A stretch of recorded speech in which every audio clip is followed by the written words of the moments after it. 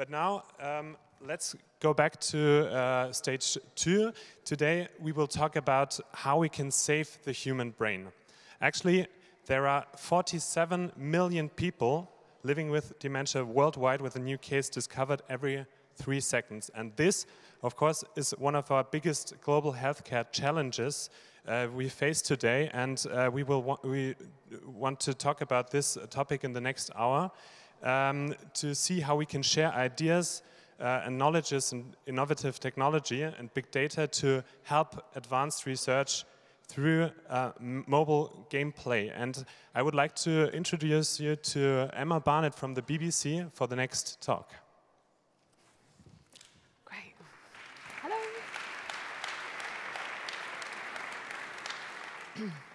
Welcome to this panel. Can you hear me okay? We're all good? Uh, it's a pleasure to be here. I am Emma. Thank you very much for having me right here in Berlin. And today, we've asked you to join with us, the hashtags behind you, uh, to talk about Game for Good, which is an initiative launched today here at re:publica. It was come up with uh, by Deutsche Telekom. We'll hear more about how it was uh, thought up in the first place in a moment with the intention of trying to use games for good, specifically with healthcare. And specifically today, we're talking about a game that helps or hopes to help and certainly looks like it will help with research to do with the diagnoses of dementia and how people use a game and how that can help people with their research. It's going to be a really interesting thing to hear more about in the detail of in a moment. So um, in cooperation with scientific partners, I'm happy to say many British people have been involved with this, University of College of London, University of East Anglia, Glitchers, who we'll be hearing from in a moment, the co-founder of that, games developers, to come together with Deutsche Telekom and, of course, Alzheimer's research to create this game, which is called Sea Hero Quest. Um, and the approach is very, very simple. It's essentially based on a series of mazes. You'll have the chance, if not already, to have a play with it. And when you play, you are doing something very, very good, which will be explained more about in just a moment. But what is Sea Hero Quest about? Let's find out. We have a film, which I'm hoping will go live now. Or now. to my right. I thought you'd disappeared. I'm disappearing right now.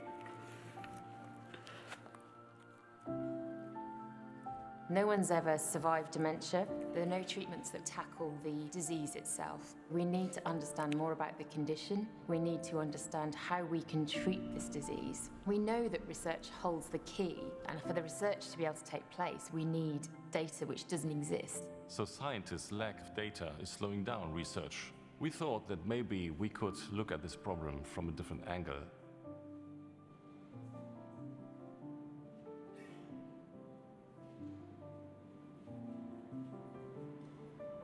One of the first signs of dementia is that people start losing their ability to find their way around. What makes this project really unique is the combination of cutting edge science combined with a games design company to reach out to hundreds of thousands of people in an experiment that we couldn't do in a lab. The game is split up into five different themed areas. You're a sea explorer and you're recovering memories for your father. You're going on the journey that he went on and you're doing it in his boat. And as you move around, your position gets relayed back to the scientists and they can see it like a heat map. And that data is used to try and understand on a mass scale how people are navigating around these different mazes. But actually, all that data, every little movement they make, every choice they make in that game, it's going to help our research. And the more we can find out about how people find their way around, the better we can understand the problems people might get in dementia. It's a total reinvention of the way this kind of research data is collected, stored, and accessed. It's not just engaging, it's also scientifically valid and, above all, secure.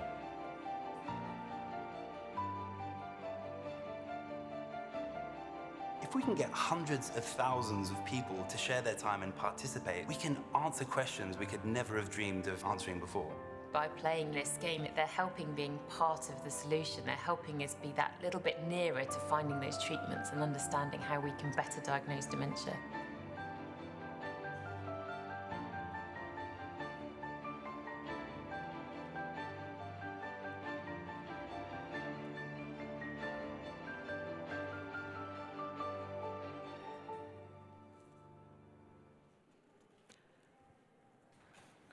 I mean, I should also say I was very interested to do this today because my friend's mum has Alzheimer's, but she got it when she was 55. And I think it's one of those things that people think of only, often they only think of it as affecting older people, but it can affect people from a much younger age. So diagnosis and early diagnosis is very, very key. Well, could you please put your hands together to join me for now on the stage, the guests for this panel who are going to tell us more about how this came about and how we can all help Game for Good.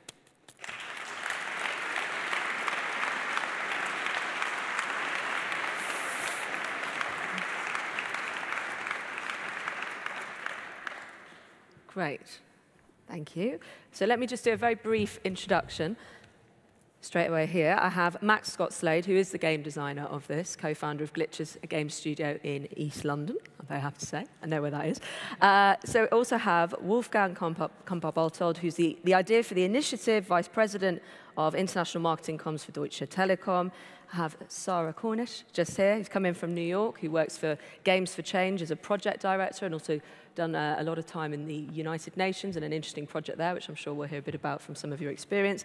And a man who doesn't really need much introduction, I'm sure you saw him already. He told me in a much bigger hall than this. Uh, I should say Dr. Gunter Dueck, also known as a wild duck or a wizard. Please put your hands again. Thank you.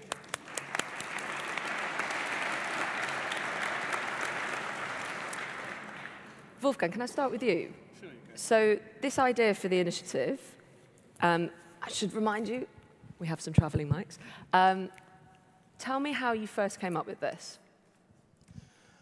Well, maybe uh, it would be helpful for you guys to first understand just a little bit uh, of our brand Deutsche Telekom, because uh, after all, we do marketing and uh, we try to position our brand uh, in a particular way. And um, we regard ourselves to be and want to become uh, a brand that is actually the sharing brand. So life is for sharing, and all what we do is trying to foster that thought.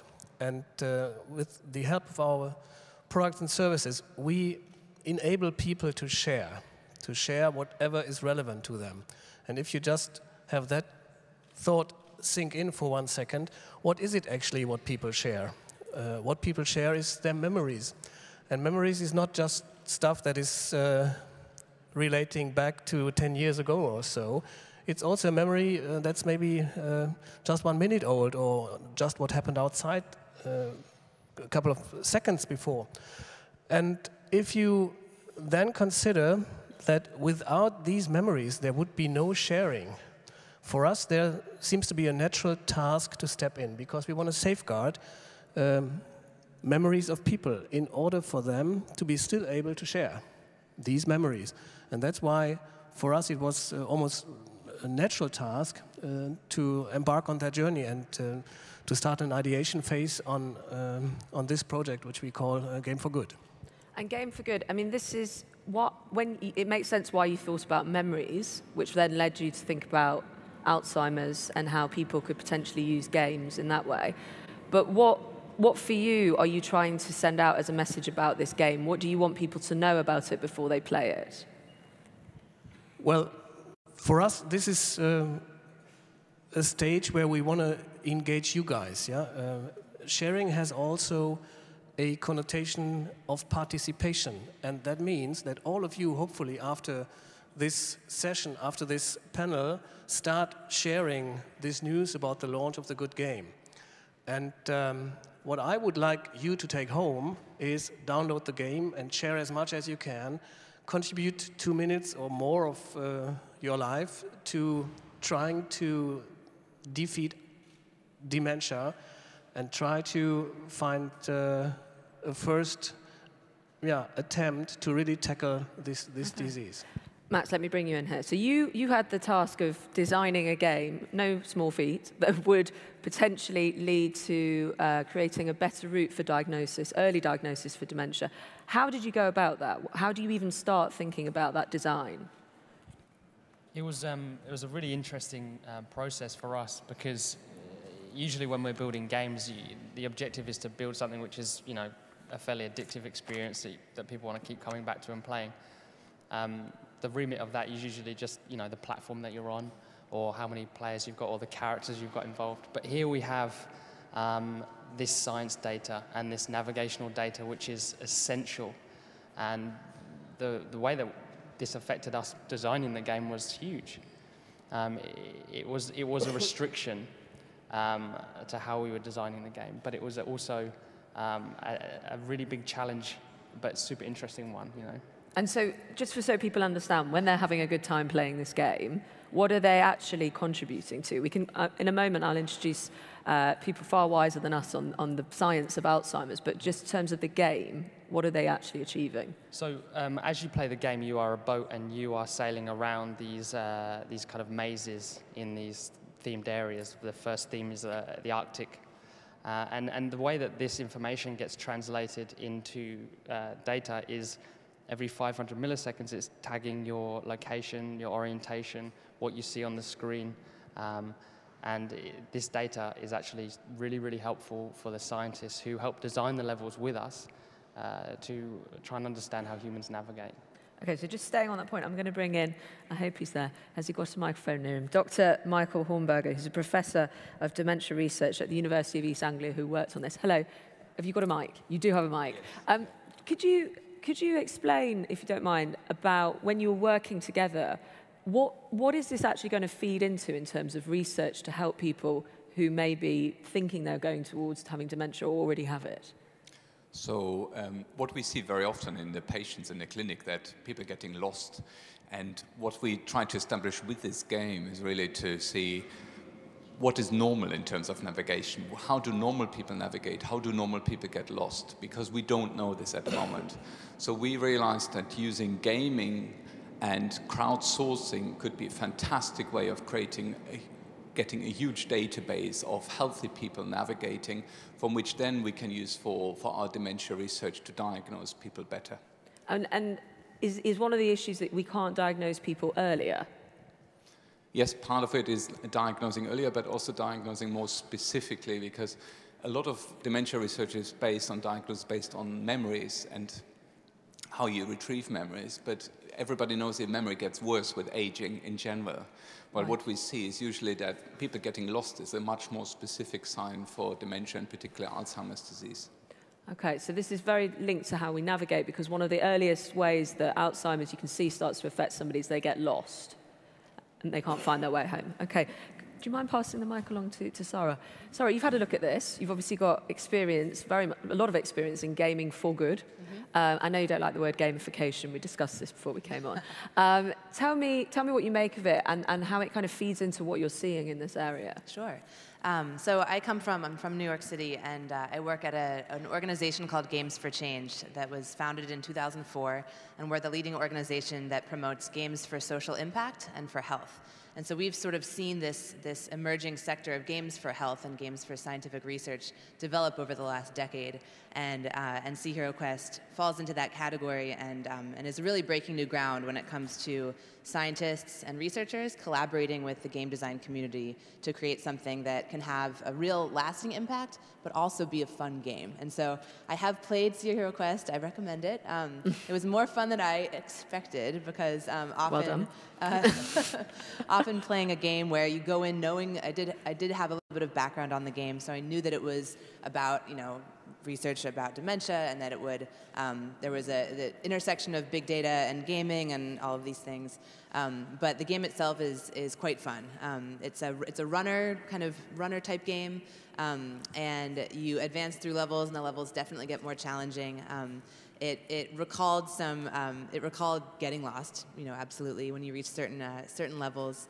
And I think in terms of the way it fits into sort of the canon of games for health, um, it's both a really good sort of awareness tool. You know, as you're playing and you're experiencing that feeling of maybe disorientation or those first kind of stages of realizing that you kind of lost your way um, in the in the maze that Max was referring to, um, it, you start to realize like, oh, maybe this is sort of what it feels like to experience those first signs of dementia.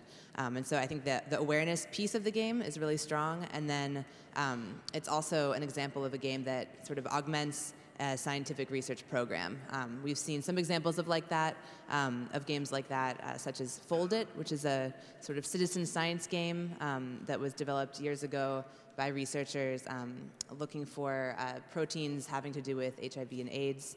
Um, and I think this is a great example of a game that, um, that supports a research program in a really strong way. And, and so. if, you, if you didn't know it was a game for good, that it was mm-hmm. doing something that contributed to scientific research, would your view of it, do you think, be different? I mean, because you say there, you're thinking, oh, this is how you might feel at the beginning of losing your way if you had something like Alzheimer's going on in your brain? I mean, yeah. how much of that is now you know that versus just playing it? No, I think it's a good question. And um, I was having a conversation last night with um, Max and Michael, and, um, and we were talking about the, the importance of a game first being really fun and engaging. Um, and compelling players to keep going and keep playing. Um, and so, you know, that, that idea of being challenged and having really um, fun mechanics but then the fact that it is, it does have this kind of higher meaning, um, and you're contributing to this really important cause that most people have a personal connection to. Um, I think we're we're going to be able to kind of see multiple audiences come into this game and play it. So people who are already casual gamers um, would be kind of engaged in the in the gameplay, and then.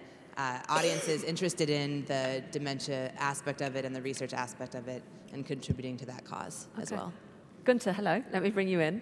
Um, when you see something like this come out onto the market, uh, I mean, it's really launched for free. Are we at the beginning of this process, would you say, in terms of games being used properly by the scientific community for health? Where do you think we are with this? Yeah, it, it, it's a brilliant idea, so, so that's why I'm here yes. in the discussion. Uh, you, scientifically, uh, the problem is we get a lot of data, and uh, you, you can have some diagnosis. Maybe you have to revise the game because maybe at some corner the irregularity of some guys is better understandable than in other places. Then you have to rearrange. Maybe you have to recall the game then after some months and then next version, then you get better, and then you get a science tool where, where you have a good diagnosis. Maybe the dream could be to have kinds of uh, signs of therapy in, in the end that, uh, that you, you, you teach people how to navigate in yeah. the end and improve the game. This is the second stage, so, so you can uh, have a lot of work for many years. So for me, it's not really interested of if the game is fun or not. So maybe for you, you are not normal. maybe you navigate in a different way because you are authentic. Uh, uh, hardcore players or something you, you, see maybe you see it differently it's also not your task to, to spend two minutes for, for playing the game your task is to twitter the game to tweet the game uh, and find a lot, lot, lot of normal people participate in two minutes. and and uh, I think the fun is, uh, these, these two are really proud people to have a fun game. That, that's not the problem. It's a duty to, to, to, to, spare, uh, to spare two, two minutes for, for and, and do, you, do you think people are more comfortable now with the sharing of their data? Because a lot of people have I mean, obviously it's anonymized, it's not something in that sense, but people, if you say to them, just play this game, they feel very good about it. But if you start saying to them, we're going to be doing this, and it's going to be used for this, and we're doing that, I mean, do you think we've got a lot more comfortable with that? Okay, it's not, not a hard thing to just to install the game, play a few minutes and... No, but it's the psychology it. of, of using different devices to get into research, to get people to do research. Usually if you think, I think of medical research, I think of going into a lab and being present and, and providing my you know, information in whatever way they want it. But this is a, this is a very different relationship that we're starting through data. Yeah, uh uh, the, the whole, uh, the, in, e-health or in medicine, you, have a big, big problem. So, so most of the uh, research is done for some special illnesses. And uh, if, you, if you make a doctoral thesis at the, uh, at the university cl at clinical environment, you find in those rare uh, illnesses maybe five patients or ten and then they look for five or ten people, interview them, two are already dead, which is statistically a catastrophe because you cannot say anything about that. And, and then you make a doctoral thesis with a statistics of two or 10 people. And this is the reason that most studies have anti-studies. So one study says, yes, sugar makes you dead, and they say sugar is fine for you. So, and you have millions of studies made, by, by maybe 10 or 20 patients. And it would be a great, great thing to just have a cloud of all these data worldwide that you can make statistics of maybe 2,000 or 10,000 having a, a, rare illness. And this, with, with the game, you have, you, this opens the door of many more possibilities. Yeah. Yeah, okay. uh, it, it, it, you cannot you cannot find against every disease in, in, in this uh, surrounding, but but this is a good approach to to uh, for, for, science to go for the goal. I, I, the problem is always with the with the with the data. So I, I, I, worked for IBM, so of course uh, I was the guy who, who made the da big data business.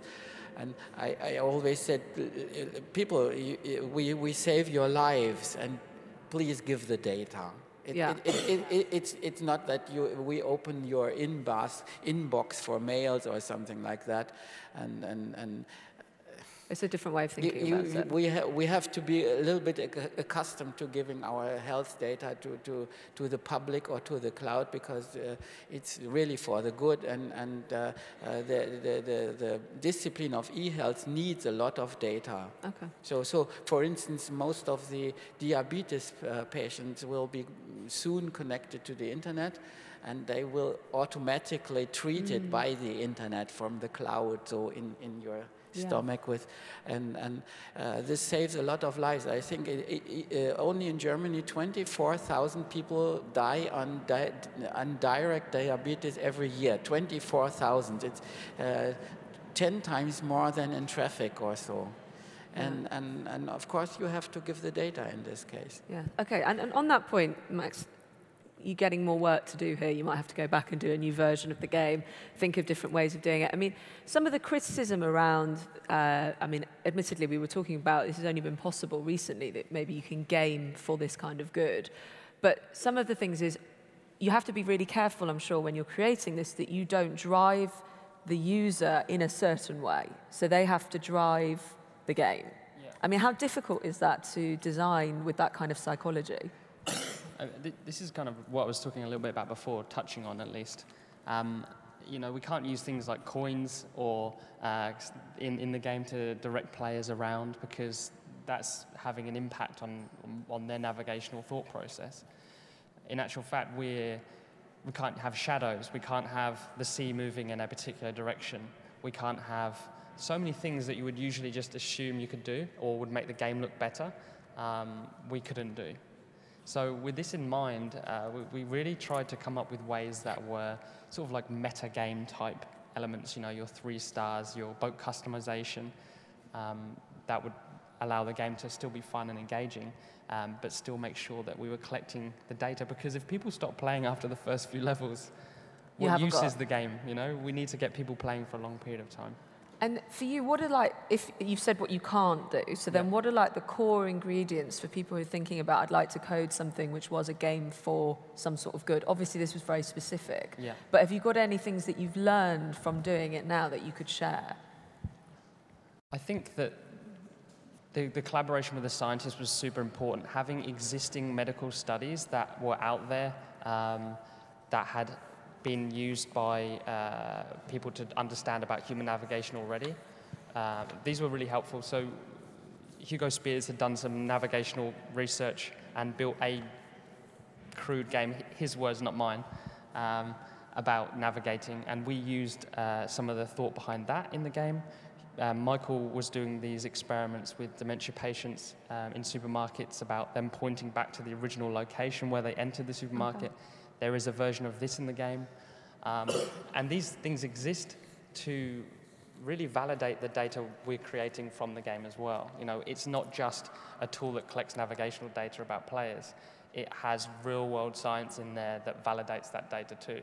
So that's what's gone into it. Wolfgang, when, when it starts coming in, the data, how is it going to work in terms of working with researchers, science? I mean, and, and what's going to be the involvement of Deutsche in that?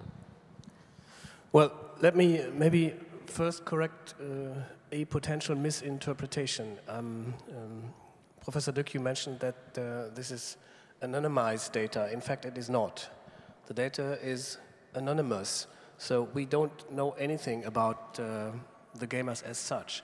What, what we know is basically some figures about where in those mazes mm -hmm. they navigate in which fashion.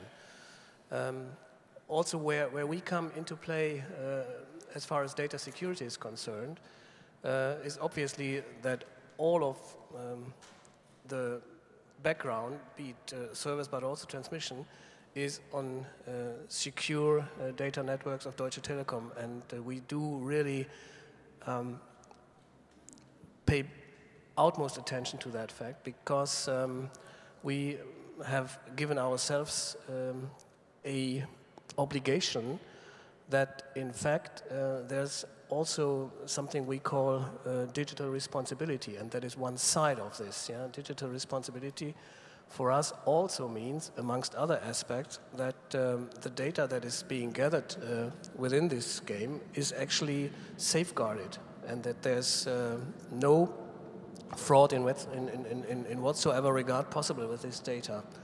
And um, I think that is essential because we want really people to contribute. And um, as I said, please download the game, please share it, and um, for us, we have a chance for the first time to really create the world's first and global benchmark for when actually dementia is starting to allow us to try to tackle this disease at an earlier stage, as you said, yeah, or um, to try to find medications and figure out whether which one works and such things. So for us, it's uh, a, a, very encompassing project and, and not just linked um, to, to any, any data question. Yeah? And for you, what, do you, how do you see this going forward? You've launched it today. It's been a year in the creation. What do you see as the next steps?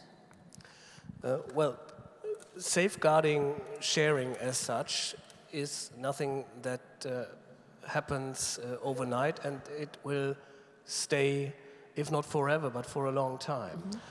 But the, the goal is to gather enough uh, data so that uh, scientists can actually come up with a meaningful analysis. And um, I think in this movie you saw a very tiny snippet uh, where there was a heat map shown, -hmm. where you can uh, literally see where uh, navigation is supposed to be normal or where you are deviating from that normal navigational skill.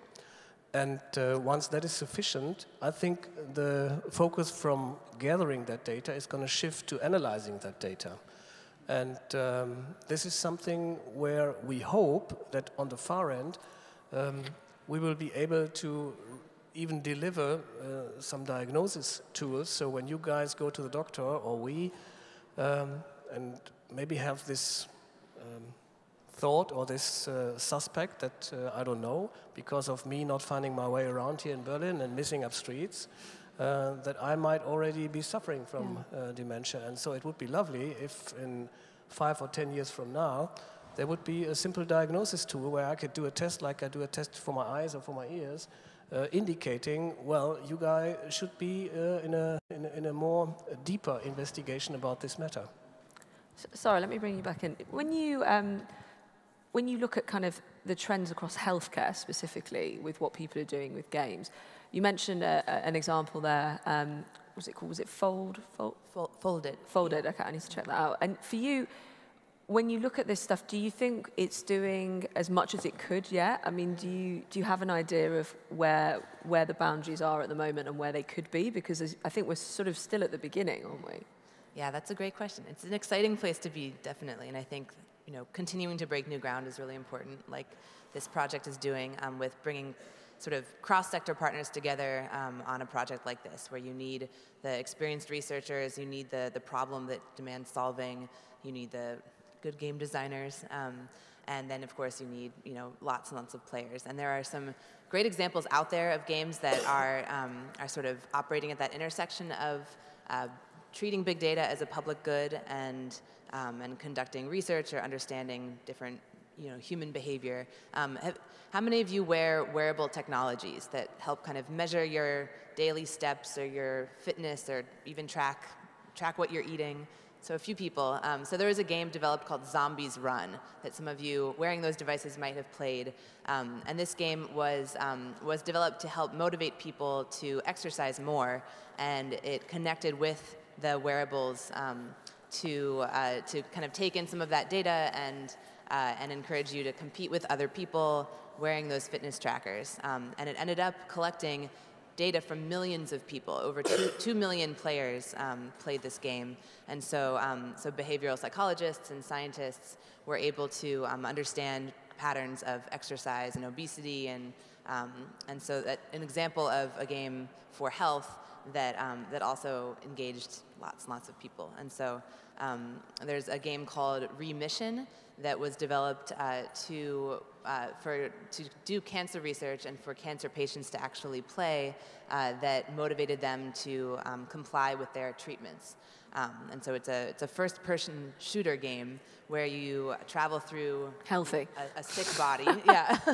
you travel through a sick body and you actually shoot cancer cells. And so, um, in the process of playing this game, patients would learn about their disease and it would sort of motivate them to, to fight um, and to take their therapies. And so we've seen a lot of examples okay. of different types of games um, in this Games for Health space. And I think um, something that we're very excited about is emerging technologies um, like biofeedback tools and virtual reality we're hearing a lot about um, here at re:publica and the potential of these tools to help researchers and game designers work together and develop new approaches. And are you seeing it mainly from the private sector or like are governments very involved now? Obviously, you've had your experience at the United Nations. I know you. Mm -hmm operated a bit about like a tech startup within that.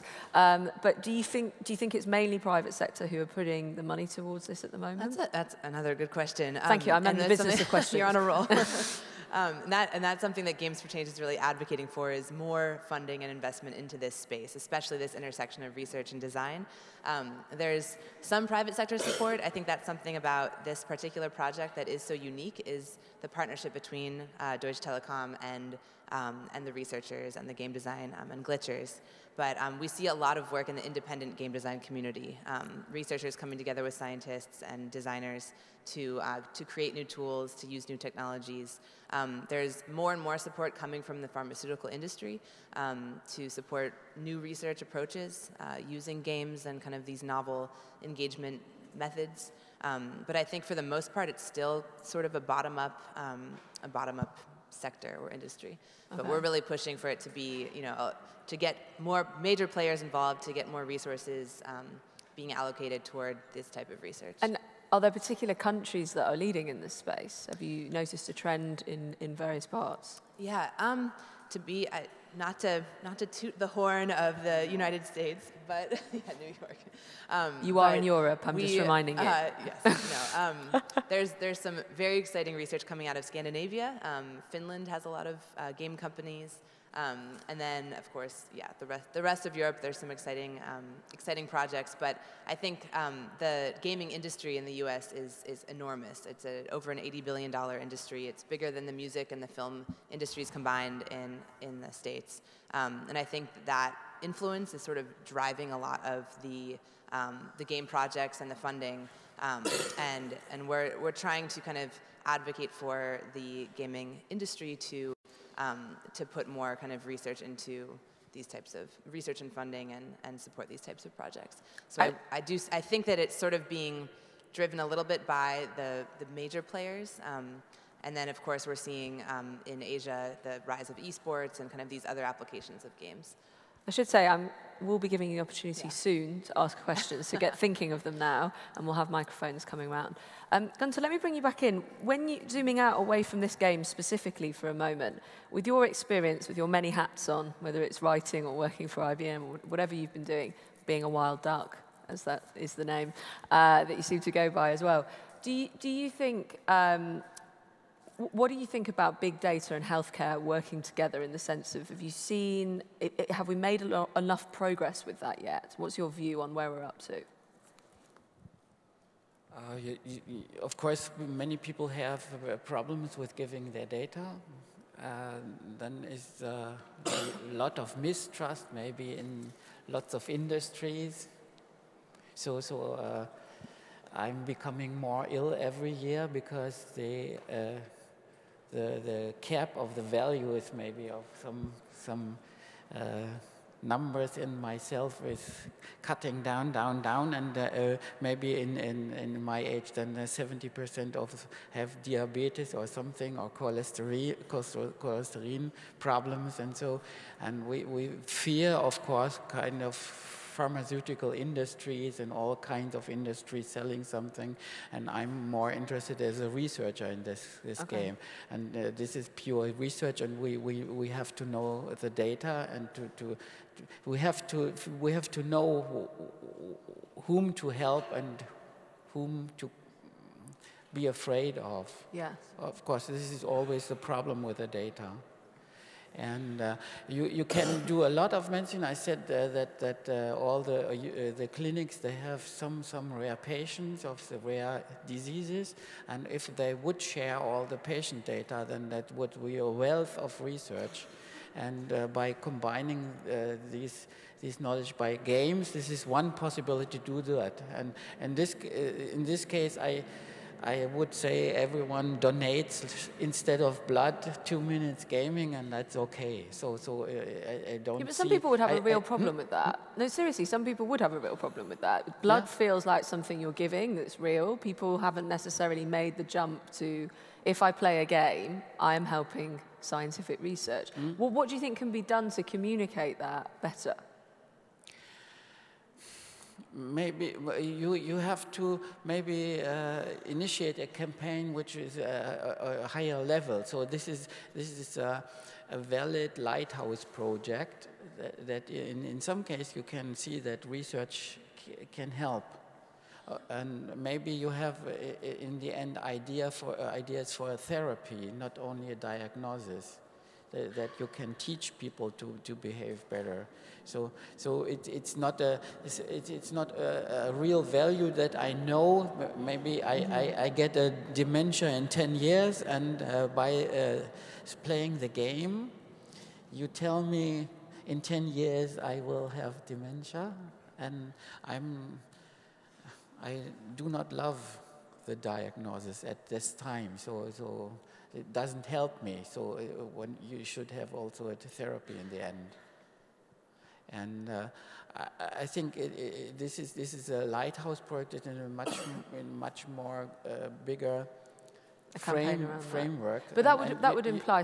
Sorry, just to bring you back in, that we so need we need governments, though, don't we, to communicate yeah. at this level. Yeah.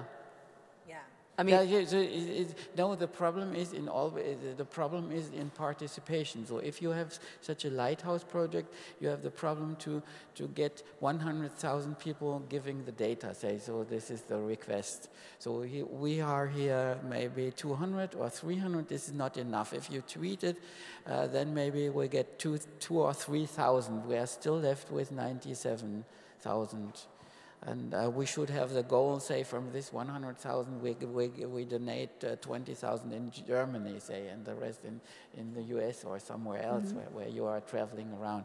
And, and always we have this problem of, of participation, participation, participation. So, and, and uh, uh there should be, yeah, kind of government help to, to promote these things and say, please do that. And, and meanwhile, we have three billion people playing casual games around the world, and so I think that's that's that's such a key to this project. Is if the game is engaging and fun and compelling, people will play it, and um, and they don't you know they don't necessarily need to. The public doesn't necessarily need to see a really impactful you know research report come out of it yet, and I think I think to have, you know, 100,000 people, the goal of this, of this project initially, to start playing it, we start to see results, and then the science will, will become clear. Um, the, the, ideal would be that the game is so fine That, yes, that you get millions of users just because it's so much fun.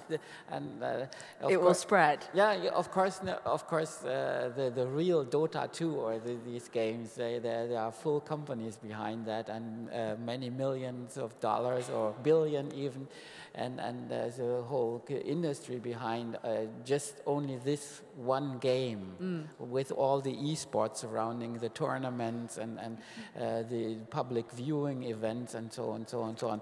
And you cannot, we cannot um, really expect that uh, if you start a game for research um, then then it's so much fun that immediately millions well, of Max might have something to say about that in a moment, and I'll let him. But Wolfgang so, first. So, so, so uh, uh, in, in some sense, we we we we we, uh, we, we have to start. Yeah. No, no, hope, I hope that, that it, uh, it, it's enough fun that many people voluntarily goes into that, and then of course you have to to to uh, say please donate. Yeah. Let and me. Can I just duty let, as a good citizen? Let, let me bring in Wolfgang. Sorry, go on. Just just a little bit of perspective uh, because I really love what you say, Gunter. Um, uh, the the game is going to be available in 17 languages. Uh, amongst those, there will be even Mandarin, and um, it's going to be heavily pushed uh, via Apple and via Google on their own behalf. So we didn't do anything about it. They just love it, and basically everybody uh, we speak to and uh, everybody who we show this game loves it. So. Um, that's not saying please don't do anything. In fact, you should do all you can to help us push this initiative. Uh, but but uh, we are very positive about the prospects. Yeah. And um, um, some of you might, might, have been at the press conference earlier on. So the first initial uh, target would be 100,000 mm -hmm. people who contribute two minutes of their life to this initiative. But I hope it's going to be easily uh, above this. Yeah? Well, just before I open out to questions, Max, can I bring you back? It is quite difficult, isn't it, to get people to, if you say to somebody down the pub who's not, not to do with the tech world, oh, I'm just creating a game that might be helping with the diagnosis of Alzheimer's earlier. I mean, I, there's sort of the gap, isn't there, between what you do and then regular people understanding the impact that those games can have. What do you think we can do about that besides government campaigns and making it fun? I think um, it's really important to remember that something like Alzheimer's and dementia and these, these kind of real kind of heavy uh, conditions that people experience, actually so many people have someone they know that has this problem. And I think people do want to engage with that. I think that the, the casual guy down the pub will get sensitive about a family member who's suffering from this problem. Uh, and, and, and they won't know what to do because in these scenarios, what can you do except watch someone deteriorate uh, or try and make their life more comfortable? So I think people do uh, want to do something, mm. but they don't know how to. And I think games are a really good tool for enabling people to do something about it. And are you going to do more of this now? Yeah, I, I really want to do more Is this. Is this like a new Game for Good yeah. chapter of your Absolutely. career? Yeah, for sure. I'd love to be more involved in this type of work because it's, it's really rewarding and also um, as Sara was saying, this is such an interesting place to be. We're at the forefront of something very new, uh, and it's nice to be in the luxurious position of feeling like you're, you're contributing to the, the rules that, that are being written about how to do these kinds of things. And this seems like a successful project we've gone through and worked with a number of scientists, um, specialists from all around the world, and I think unanimously everyone was very positive about the project. And mm. it wasn't always easy, but it, it was a very uh, enjoyable experience overall. Yes, better to be saving people than just collecting coins, I suppose. Exactly. Okay, well, there's nothing wrong with collecting coins. Do we have some microphones uh, or a microphone that can go around the audience? yes, I hope we do. We do?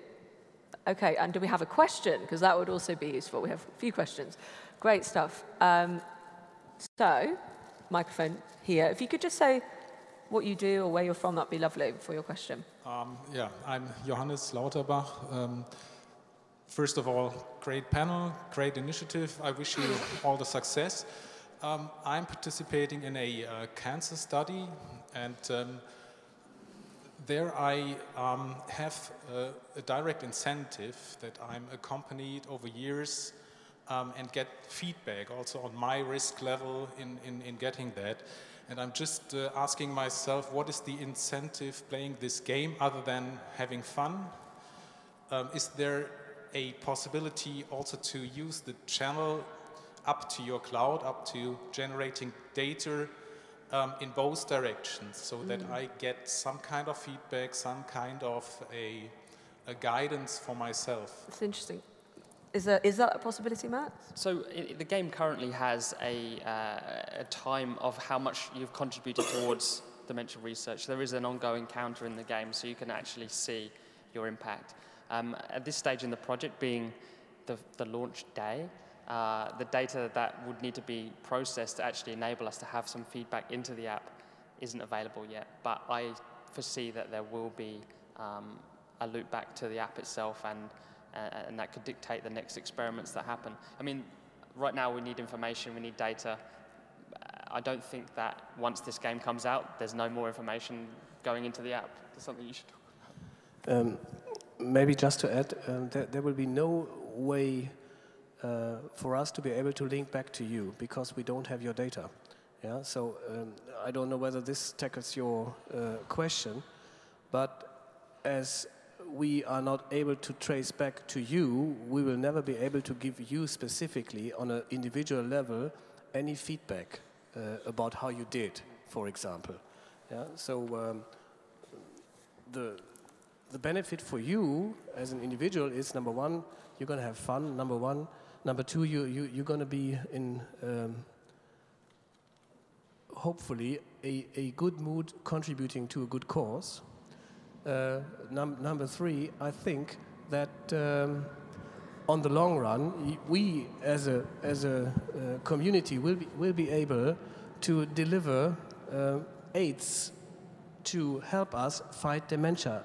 We don't know how these aids are going to look like, yeah, and um, talking to the scientists, we are, we are just on this uh, endeavor all together. We just don't know it. We are trying to get there, and hopefully, as I said earlier, there will be a, an early diagnosis tool, for example, to yeah. be able to tackle uh, earlier let me, stuff. Yeah? Let, let me add, uh, the first 100,000 users are needed to, to, to, to make the tool. So, so you have to first to have a study what the normal being is playing and then you, you, from the data you can you can study what is not normal or has some indication.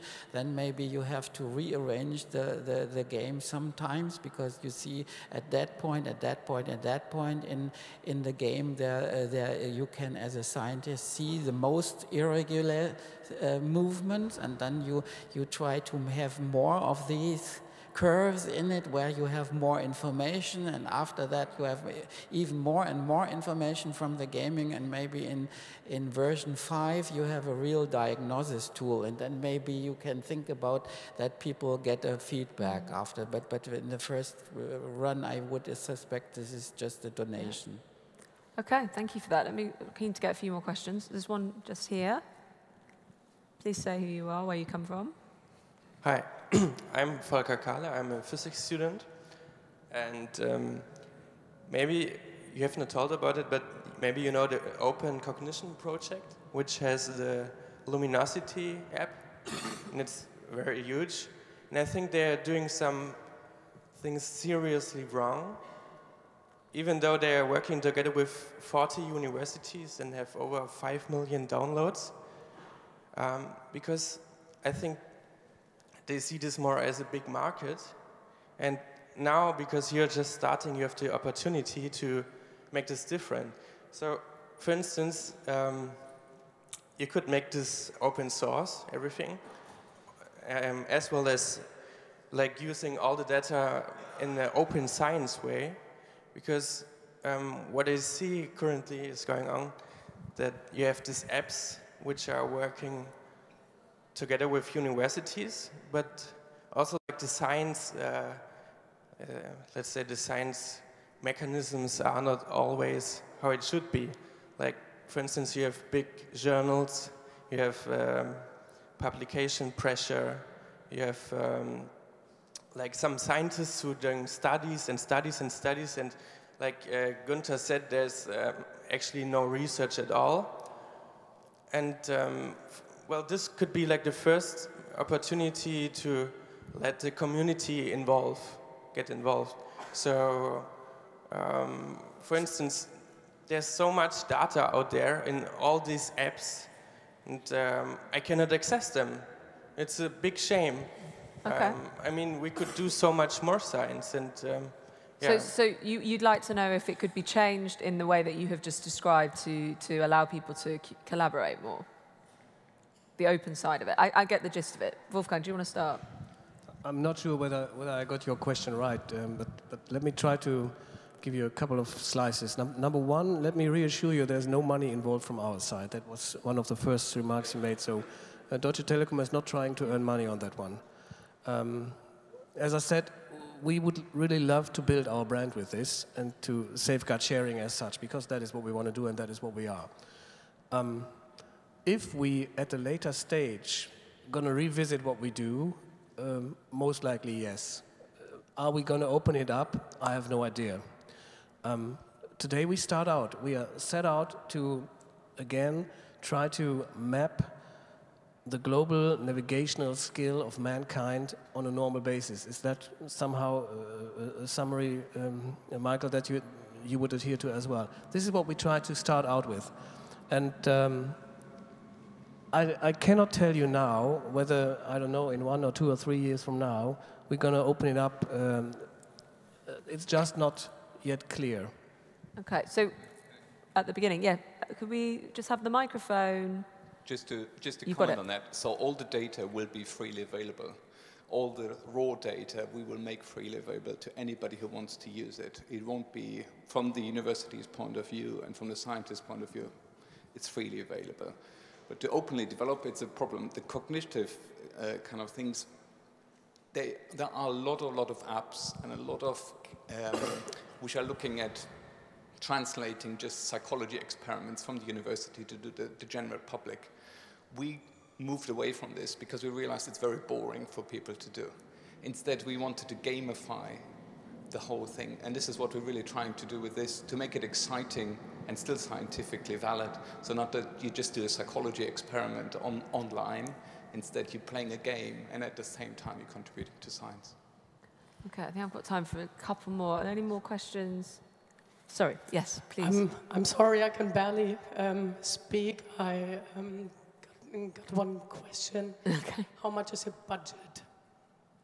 The budget, Well, um, we don't usually talk about numbers, but to give you an indication, uh, it's, it's, it's a, a budget that is reaching into the millions, and um, it is uh, below 10 million. That, that much is clear, but it is also uh, a decent chunk of money.